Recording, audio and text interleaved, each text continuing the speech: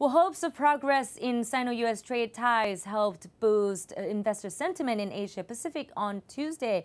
In Tokyo, the Tankan Economic Survey issued by the Bank of Japan turned out a bit more positive than expected, adding an extra spark to markets there too. Uh, the Nikkei ended the session six tenths of a percent higher. Blue chip exporters were strong though, with Honda, Motor, Panasonic, and Bridgestone Corp all rising well over 2%.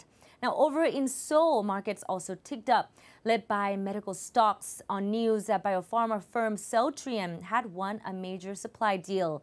The Kospi closed up just under half a percent.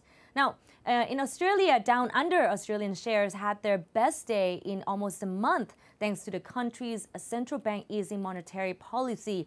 Uh, the Reserve Bank of Australia cut rates for the third time this year in hope to stimulate the, the sluggish economy.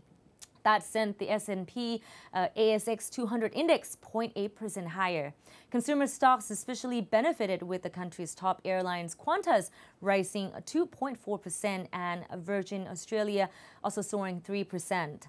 Hong Kong and mainland markets were closed for the National Day holiday.